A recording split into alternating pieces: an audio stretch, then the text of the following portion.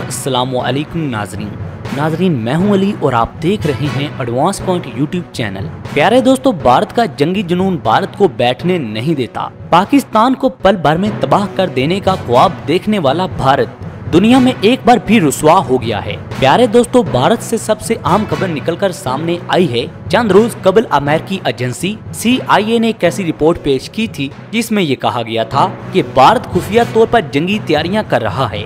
वो किसी भी वक्त पाकिस्तान पर हमला कर सकता है। इस जुनून में भारत ने रात के अंधेरे में अग्नि थ्री का तजुर्बा करने का सोचा। आगे क्या हुआ वो आप खुद भारतीय मीडिया के नौजवान से सुन लें। Setback first night trial of the nuclear capable Agni three kilometre